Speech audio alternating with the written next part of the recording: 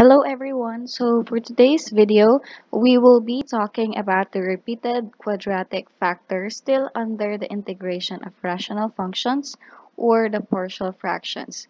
So basically, repeated quadratic factor is similar with distinct quadratic factor. It's just that in repeated quadratic factor, its, its factor has some repeated factors.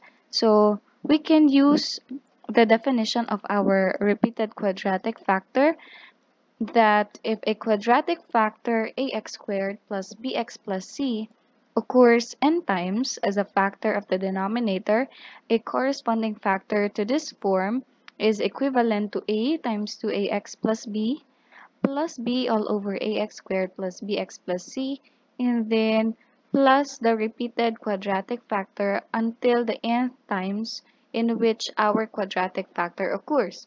So now we will be uh, having our example. We have here evaluate integral of dx all over x times 1 plus x squared squared. So to solve this kind of problem, we have to note the repeated quadratic factors that we have here. So as you can see, we have a re repeated quadratic factor which is 1 plus x squared uh, squared. So, so now we will be uh, treating our equation as a normal equation. So that being said, we can write this as 1 over x times 1 plus x squared and we have the squared. And then decomposing it to partial fraction we have a over x this one plus our quadratic factor.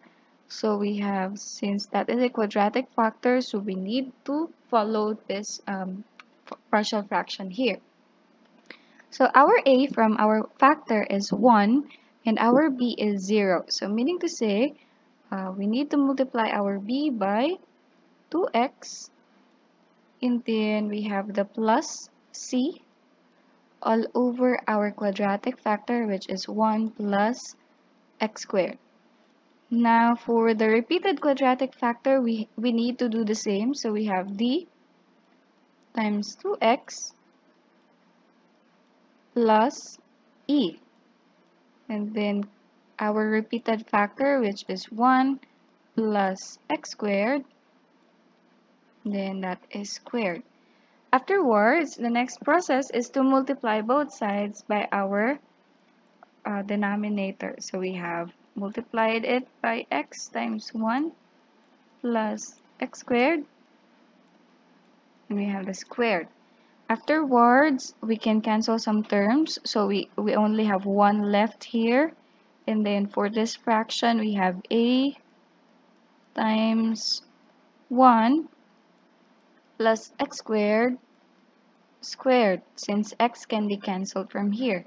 Now for the second fraction, we have b times 2x times x times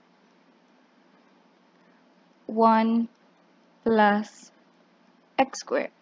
Then we have our c, which is multiplied by x and 1 plus x squared. Then for our d, we have d times 2x times x. And for our e, we have e times x. Afterwards, we can uh, simplify this one.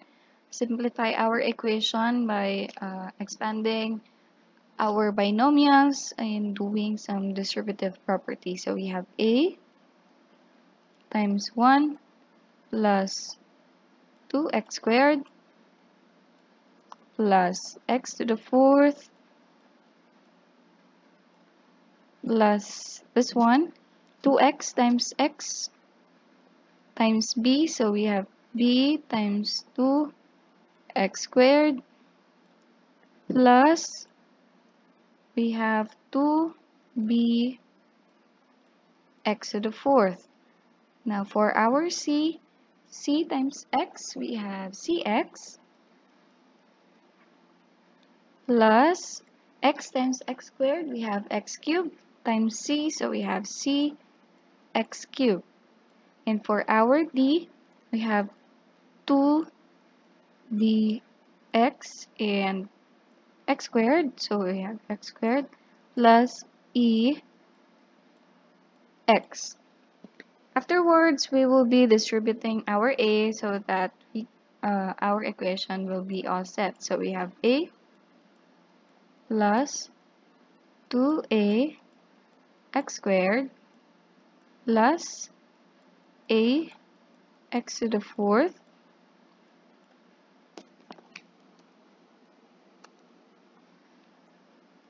So x to the fourth plus our 2bx squared just copying the rest of our uh, terms. So we have 2b x to the fourth plus cx plus cx cubed plus our 2dx squared plus ex. So afterwards, after we get our equation, we can now find the coefficients uh, of our exponents to find the value of our a, b, c, d, and e. So for that, uh, we have the highest exponent here is x to the fourth. So we'll find the coefficient of our x to the fourth. So from our from the left side of our equation, there's no x to the fourth, so you can just put 0 there. And then for this one, we have the a. And then we have the 2b, so that is 2b. Afterwards, there's no other x to the fourth here. Now we'll find the coefficient of our x cubed x cubed from the left side of our equation is 0, so we have 0. And then for the left side, we have only the x, I mean the c.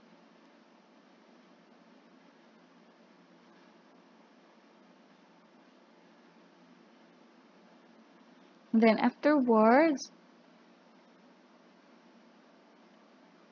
we have the x squared. So for the coefficient of our x squared, we, we have 0 from the left side, we have 2a from the right side, plus 2b, then plus 2d. Then we also have to find the coefficient of our x. Still 0 then we have C plus E. Then for the coefficient of our constant we have 1 is equivalent to A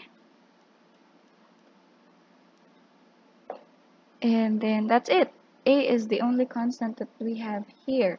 So meaning to say a is equal to 1, c is equal to 0. So from c is equal to 0, we can already substitute that here to get our e. So meaning to say 0 is equal to 0 plus e. So meaning to say our e is also 0. Now afterwards, we can also substitute our a from, the, from our first equation. So we have 0 is equal to 1 plus 2b. Now to get the value of b, we just have to move the uh, 1 here from the to the left side of our equation. So we have negative 1 is equal to 2b. To isolate our b, we have to divide both sides by 2. So meaning to say our b is equivalent to negative 1 half. Now, after we get the value of our a and b, we can already substitute it here. So we have 0 is equal to 2 times 1, which is the value of our a, plus 2 times negative 1 half 2 times d. Now, basically, if you calculate this one, if you solve for this one, the value of our d is equivalent to negative 1 half. So after we get the values of our uh, unknown constant numbers, we now uh, substitute it from our partial fractions here. So we have, from the partial fractions that we have, a is 1, so we have 1 over x plus our b, which is negative 1 half times 2x plus our c, which is 0 all over our quadratic factor. And the other partial fraction which is d which is negative 1 half multiplied by 2x plus the value of our e which is 0 then we have to divide it with 1 plus x squared squared. So afterwards, after we uh, substitute our um, unknown constant numbers, we can already integrate this one. So after we substitute the values that we have for the uh, for our a, b, c, and d, and e, we will now integrate this one. So to integrate this one, you just have to change this one into integration. So we now have dx over x for this one. Uh, since negative 1 half it's constant, so we can put that outside. So we have negative 1 half. Then we have the integral of 2x dx all over 1 plus x squared and 0 over our quadratic factor that is still 0 so uh, there's no need to write this one. And for this one we also have the same. We have negative 1 half and then the integral of 2x dx all over our quadratic factor which is 1 plus x squared squared. And since our e is also 0, so, so there's no need to write it down. Afterwards, we can already integrate this one. As we know, dx over x, that is ln of x. And then for this one, if we let our denominator as our u, 1 plus x squared, our du is equivalent to 2x dx. So as you can see, we have 2x dx from here and our u is also the same. So meaning to say, we can have this as du over u, which is equivalent to negative 1 half of ln of 1 plus x squared. Now for this uh, for, for this fraction, for this integrand now, if we let our u as equivalent to 1 plus x squared as well. And then our derivative is also 2x dx. But as you can see, this can't be uh, this can't be formed into logarithm since uh, this has an exponent of 2. So basically, you can use a power formula for this one. So we have negative 1 half integral of u raised to negative 2 since we are moving this to the to the numerator and then we have the du. Afterwards, we now have ln x minus 1 half ln of 1 plus x squared minus the integral of our u raised to negative 2. So by power formula, we have um, u raised to negative 1 all over negative 1. Then we have the plus c. So afterwards, we need to replace our u to its original value, which is 1 plus x squared. So replacing that one, we have ln x minus 1 half ln of 1 plus x squared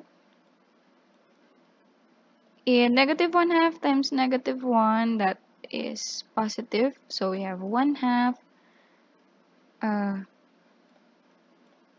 we have our u which is equivalent to 1 plus x squared raised to negative 1 plus c.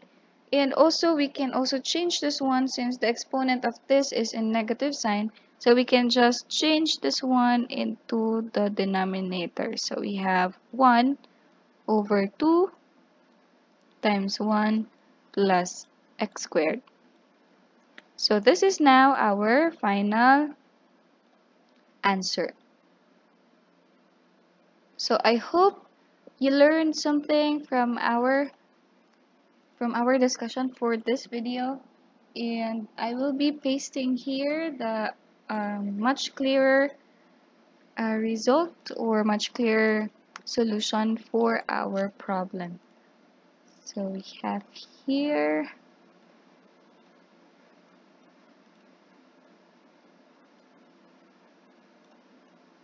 this one.